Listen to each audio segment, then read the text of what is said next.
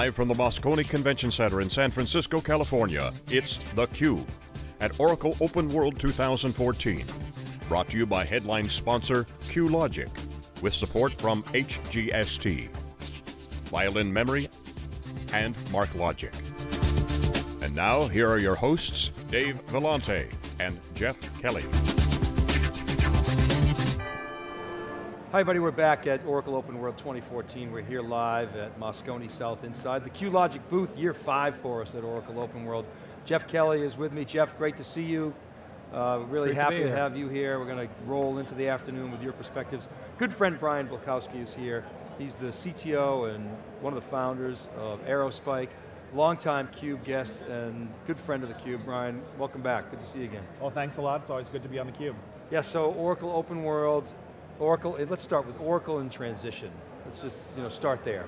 Um, I, I, often sort of say tongue in cheek, Oracle will be late to a, a, trend and then kind of act like they invented it and we're seeing it now with the excellent Oracle marketing with 12c and one click to the cloud. Um, what's really going on in the Oracle world? Well, I, I think everyone's realized, hopefully everyone's realized that the days of selling software are numbered right? The idea that you're going to actually buy a piece of software and install it somewhere, the writing's on the wall. No developer, no, no software engineer really wants to install software anymore. They simply want it to be there.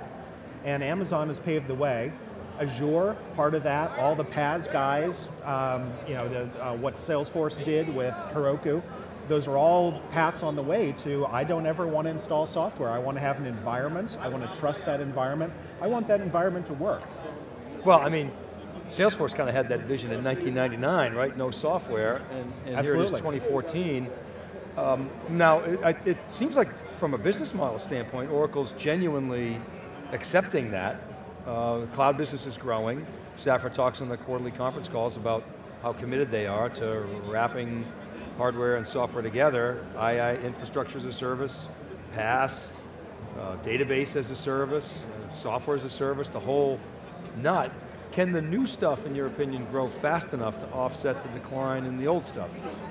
I think it's going to be hard to get anyone to switch over to Oracle's cloud because data has gravity. Once you have your data in one place, shifting it, going back and forth with that data, it's very difficult. And this is where Amazon and EC2 has really stolen a march on so much of the world.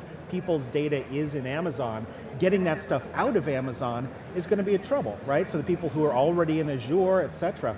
So uh, the tweet that I saw was that Am Google, uh, sorry, that uh, Oracle is starting this with like 20,000, 30,000 machines for their cloud that's only going to be the diehards, right? The people who are, you know, yeah, I'm going to use Oracle no matter what, compared to the millions of machines that EC2 has and the millions of machines that Google has as part of Google Compute Engine. So, so I think it's going to be a little tough other than the diehard guys.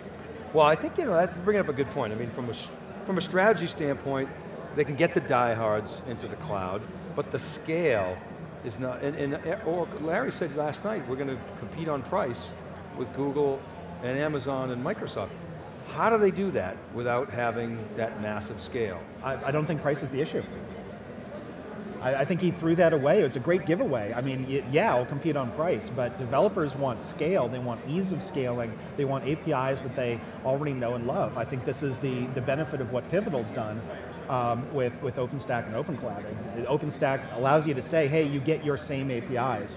Uh, I'm a little confused as why Oracle wouldn't line up behind that effort, that really being the anti-Amazon uh, move at this point, as opposed to setting their, uh, up their own system.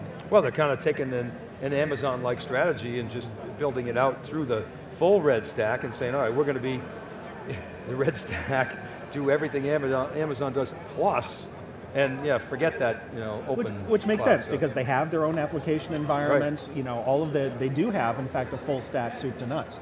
Um, whether that's enough, I think that's the question. Well, they definitely see the world differently. Well, let's, let's talk about Aerospike. Give us the update on, on Aerospike. We've, um, it's been a while since you and I talked, and uh, love to hear what's new with you guys.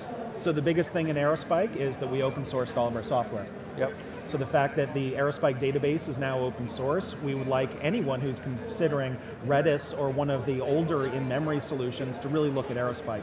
We've been trusted for in-memory deployments throughout ad tech, marketing tech, uh, with a great suite of customers. So five plus years in deployments with very high availability systems, extraordinary performance, and now with open source, we think any developer really should just reach for a proven system in in-memory. So why the decision to open source, and, and why now?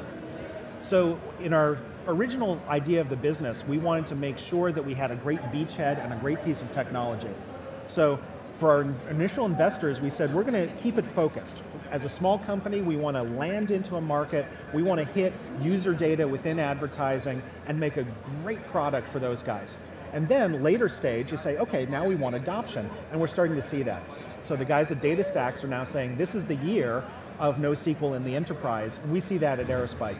We see telecom companies doing QoS-based routing for which they need an in-memory database. That has to be right on the front line. We're seeing um, financial services companies trying to respond to mobile and the demands that that has. There's this core database, position of, data, uh, position of record database, has to be in memory uh, and has to be very high reliability. We're seeing those use cases pop up. We're seeing uh, stacks that used to be a storage device, a database, and then a cache we're seeing all of that slim down to just the database. Wouldn't you rather have a database that was fast enough and didn't require a storage layer, didn't require cache in front of it?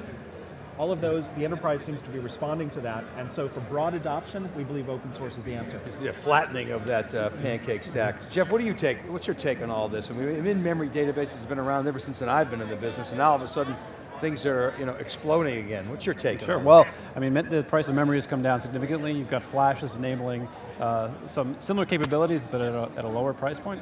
Um, so I think it's certainly an area where there's a lot of interest around putting those applications right at the front line. So you're actually making real-time uh, recommendations, real-time um, insights that are enabling users to actually get more from the application that they're interacting with. And we were talking, Brian, a little bit just before we went on, on air about, uh, you mentioned finally this is the year of kind of real time. Uh, talk a little bit about that, both in terms of the use cases where Aerospike excels, as well as some of the things we're seeing on the Hadoop side with Spark and some other things. So the big use case that I'm starting to see coming out of the Spark community, by the way, I'm, we're ex as excited about Spark as anyone else. I think it's a really interesting architecture. And what it seems to be used for from, from people I talk to is looking for things like patterns using machine learning in real time. So instead of having to sweep through all of your data with Hadoop, and you might have tens of petabytes, that might take six hours, what about, what if I can see those patterns right now? What if I can see an interruption in my cloud services? What if I can see out of my server logs a certain class of users just starting to hit right now? That's what all that stuff is great for. Now, Aerospike's role in that, first of all, we may be able to improve uh, Spark simply because a shared database, as opposed to in-memory on the Java stack, may provide some interesting computation. And so we're working with the guys at Databricks on that and trying to figure out our own solution, that's great. But the, the real point is you want to make all of these insights part of your online experience. You want to offer a deal. You want to offer a cross-sell, upsell you want to offer a recommendation, and that's in the web experience. It can't be batched. You want to line it up right now. You want to see the insight with a system like Spark, and then you want to feed it into the online experience. That's what gives, um, gives people the feeling that you're listening to them and personalizing everything as part of the web experience. So take us back a little bit, give us a little bit of a history lesson, because we know, of course, that kind of personalized advertising has been around for a while, but it hasn't always been this real time. It's been more batch oriented. Talk a little bit, of, walk, walk us through the history of how this has evolved a little bit. Sure, so uh, if you remember around year 2000, the idea of scaling out the internet was, let's get a whole bunch of MySQL, let's shard it out, let's put a cache in front of it, let's buy ourselves a storage layer and a, you know, SAN behind it. And that sort of took us through to, I would say around 2007, 2008. The large internet companies like Google never even went that direction. Really, it was the, you know, the, the guys trying to build internet experiences. So in 2008, something very interesting happened in technology, which was the personalization of advertising. Instead of taking and buying an ad on a website or buying, like buying a ad on a magazine page, people said, hey, let's, let's try to buy an audience, let's try to try, buy a person. And then they said, well, wait a minute, we have to price this. So if I can get your eyeballs right now, maybe on some wacky site that you go to, you know, driving mm-hmm. cars in the mud, who knows what, um, but I'm buying you, how do I price the opportunity to get an ad in front of this particular person at this particular time? And a couple of smart guys said, hey, let's run auctions. Mm-hmm. Auctions are the only fair way of pricing the millions per second of ads that can be delivered at any moment. So companies like AppNexus out of New York, the Trade Desk on the West Coast, and Google internally, and also Facebook now as part of Facebook Exchange said, let's run auctions. So this is very interesting because it provides a counterpoint to capital markets. Capital markets, when you trade and you buy and sell, you say, I'm willing to buy, I'm willing to sell, and when those two points overlap, then you've got a sale. Instead, you say, I want to sell, let's run an auction. And let's do that today, that's happening in advertising, three million times every second, with 100 companies bidding on every single advertisement. Mm -hmm. It is a massive piece of technology to price in real time every single ad opportunity. Facebook does it as part of Facebook Exchange, um, Google's ads flow out, all of these systems. Well, so the, the, the, players you mentioned are obviously huge technology companies. They're big web-based companies. So they have the wherewithal and the obviously the, the need to do that. Um, so what about the rest of the rest of the world that could benefit from that kind of um, capability? How, how, do they get access to that kind of technology, that, that kind of those kind of capabilities? Well, this is one of the reasons we formed Aerospike. We wanted to bring the kind of technology that was inside Google, allowing them to scale out into other companies. So, you know, Oracle, we're here to Open World. I mean, TimesTen was a great memory database. And yet the people I talk to using TimesTen say, oh, but it doesn't scale. We know it doesn't scale. Um, and you know, I'm not a TimesTen user, I can't speak to that eloquently, but what we did at Aerospike was we said, let's use the in-memory technology that companies like Google are using, like Yahoo are using internally on their own projects, let's bring that to a wider market and allow people to compete with these kinds of in-memory solutions. Now beyond, obviously you've got to have the technology component, but you've also got to have the, the use cases, the understanding from the enterprise about what can be done with this technology. You mentioned the number of the, you know, the millions of transactions per second. To a more traditional enterprise, that might seem like, well, where's that going to fit with me? How am I going to leverage that? What are some of the things you're seeing in maybe some other industries, or how are you educating you know, customers, potential customers about the capabilities? Yeah, it's a great question, because I do think now is the time when the traditional enterprise, the Fortune 50, the Fortune 500 is getting hip to this.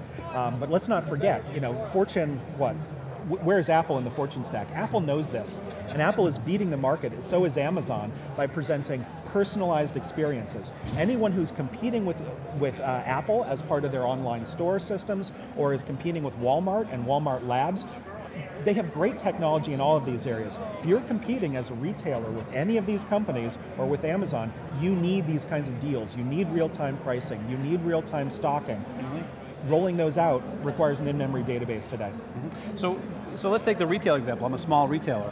Am I, should I go directly to somebody like Aerospike or to, to a, similar you know, vendor, or are there service companies that are kind of playing the middleman role? How do I actually go about and do that? You'll go to a service provider. Mm -hmm. So what we at Aerospike do is we get that technology out to a variety of service providers who are creating the kind of recommendation engines that then a smaller retailer might use as a service. Ah, so you're selling into those service providers who play the, play the role of, hey, we're going to build a platform um, using Aerospike technology that, that, that does some of the things that Google's platform can do, that Facebook can do, and then we're going to make that available to all their competitors so they can actually compete in this market. Absolutely. Cool. So Brian, how has the decision to go op open source um, changed the way you guys operate, changed your business model, and specifically, um, how are you interacting with the developers, you know, same, differently, in a more enhanced way? So open source has opened doors for us across the industry. When we had gone into even, we found there was a big sea change, a big shift, market shift uh, in talking to say the Fortune 100 and even Fortune 200 about any kind of platform. So we said, you know, look, you guys know you need an in-memory data platform, right? And they would go, yeah, yeah, we need that stuff. And then they would say, but it needs to be open source. They would just start about that. They, they would say, well, we're, we're not willing to get trapped into any kind of data platform. If you want to be our data platform of the future, we need to be able to see the code and read the code. We'll still pay you money. It wasn't about money.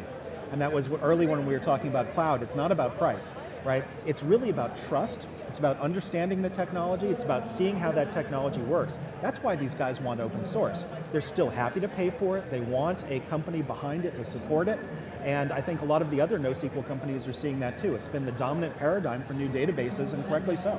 Right, okay, so the business model really hasn't changed dramatically. No, it hasn't. Uh, they're still paying you, uh, but they just get open, uh, open access to the code. And, and how about the contribution side? Is that picked up? Or? Um, what are your so, objectives there? You know, one, one last quip was that open source is the new escrow. Yeah. So in the old days, you know, the old days, which is to say a few years ago, you would, we would write all of our contracts that said, hey, you're going to get, uh, you know, in case of some unfortunate thing, say for example Oracle buying Aerospike as a company, then you know that would trigger an escrow agreement. Um, now we just say, look, you don't have to worry about all that. We're open source. You're covered in case of any eventuality. That's really what they want is, is the new escrow. Um, second of all, in terms of contributions, we're not too worried about that. We have great software engineers, they understand our system. We get a few contributions, especially in client-side, client-side libraries. We haven't seen very many for the server yet, and you know that's okay with us. Really, it's about escrow, it's about trust. Open source is the new escrow. All right, Brian Bulkowski, thanks very much for coming on theCUBE. Always really a sharp segment. Uh, really appreciate your insights. Great, thanks a lot. Great to be here. All right, keep it right there, everybody. We'll be back with our next guest right after this. This is theCUBE. We're live at Oracle Open World 2014 in Moscone. We'll be right back.